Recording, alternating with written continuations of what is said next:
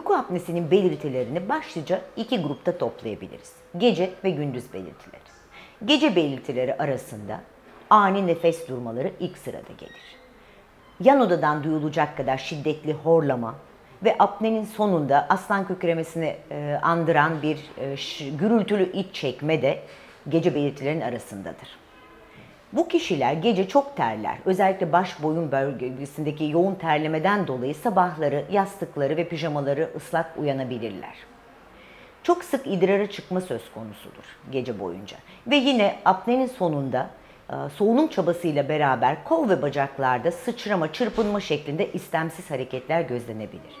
Gündüz semptomlarına gelince sabahları yorgun, dinlenmemiş uyanma, sabah ağırlıklı baş ağrısı, gün içinde aşırı uykululuk hali bunların başında gelir.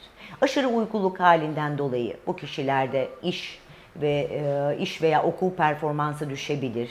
İş kazaları ve trafik kazaları yaşanabilir. Uyku apnesi olan kişiler gündüzleri sinirli, gergin, huzursuz olur. Dikkatleri ve bellekleri zayıflar. Bu şekilde iş performansları da önemli düşüş gösterir.